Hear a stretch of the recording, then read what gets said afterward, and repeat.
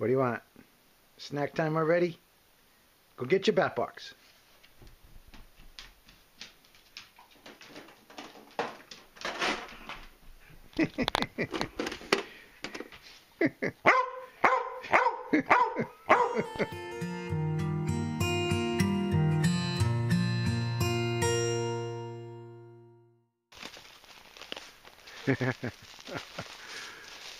this is the old car that I was filming last year when I was up here.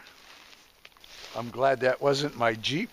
well, there'll be some good firewood. A bunch of maples have been breaking and falling down here. That one there, this one. I'm gonna harvest these. Yeah, the old car has seen better days. I have a guy coming up next month who actually rode in this car. He came up in this car many, many years ago. Now, this car has been right here just like this all my life. In fact, a lot of the bullet holes in this car were from me and my brother. but anyway, he's going to come up next month. Hopefully, he's got a bunch of stories to share with me that I have never heard. And he was around when the camp was being built originally, so Ah, it's going to be interesting. Hopefully, I'll have some interesting stories to share with you. Yeah.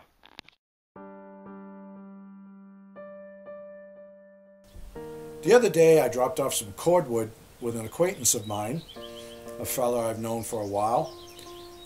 And the conversation went like it always does.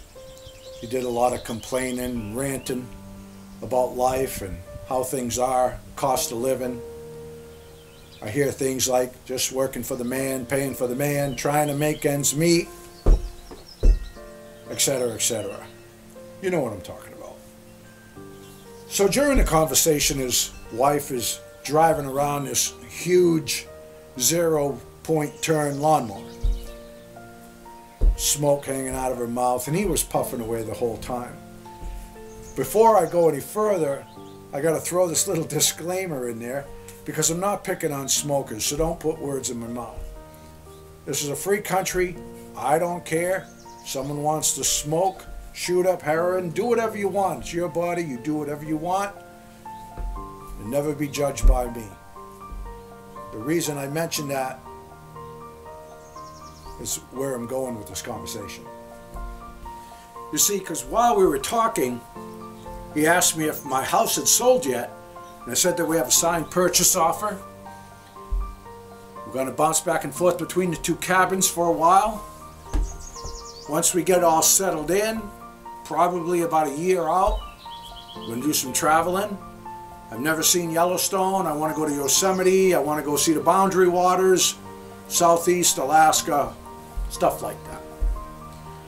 So then he proceeded to say, Boy, are you lucky that you can do all that. Boy, are you lucky that you don't have to go to work every day. Really lucky. And if you read through the comments on my videos, you'll see that posted a lot. Wow, are you a lucky man? And I've been hearing those words all my life. Way back when I lived in my very first cabin, I'd hear, wow, are you lucky to have this cabin at your young age? And boy, are you lucky that you can do what you want. and quite honestly, I am the unluckiest person I have ever met. I deal with a whole bunch of medical issues that have been plaguing me for years. I endure a lot of pain on a daily basis. I need surgeries on my spine, whole bunch of stuff. A lot of stuff that people take for granted I have to deal with. But I don't complain about them. It is what it is. The reason for this chapter of this video is just to put things in a little different perspective for you all. Sometimes putting things in a different perspective can be a real eye-opener, which I think this will be for you. I complimented him on the lawnmower. Said, wow, that's quite the machine.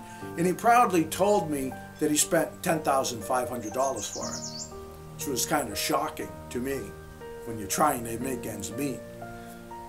My lawnmower cost me around 160 bucks. It's one of those little red Murrays that you buy down at Walmart. It's not self-propelled either. And I think my yard here is a little bit bigger than his. But we all have our own decisions, and it's up to us to decide how we want to spend our money, and we're entitled to those decisions. What people ought to realize, though, however, that every decision we make and every action we take affects us on a long term basis, especially spending and the stuff to do with the health. I'm not going to get on that subject too much. so, I like my little mower as much as I like the exercise of mowing the lawn. So I did some math in my head.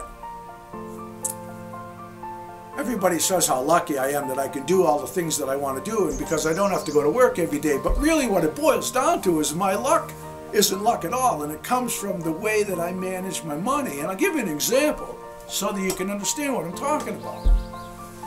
I did my taxes a couple months ago and this homestead is on National Grid. We have two full-size freezers going. We don't walk around in the dark. I just don't have lights on where I don't need to see. Just frugal about the power I use. I don't have anything running standby power except the computers. My accumulated power bill for the whole year of 2016 came to $404 and change. And I can prove that. I don't need to, but I can. I have all my power bills.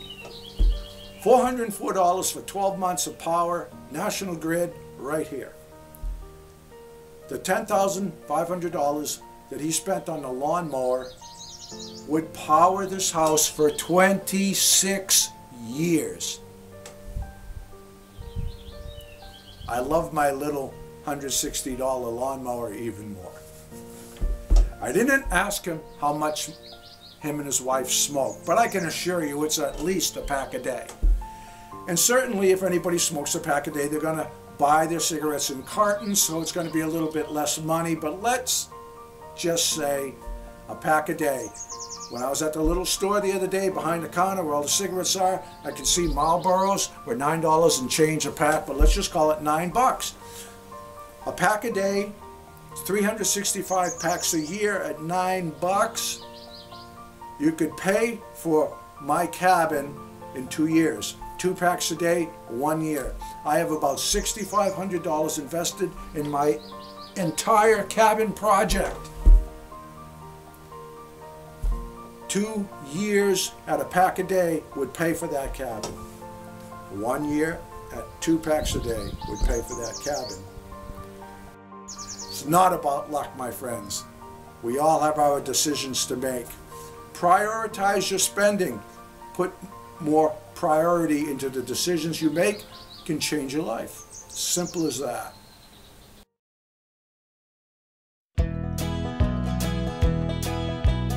Frankie and the boss out of walking in the woods, living life happy and free.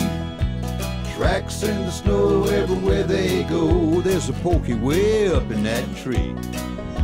A beaver built a pond where they have some fun, taking life a day at a time. Best friends until the end. Frankie and the boss. Frankie and the boss. Frankie and the boss.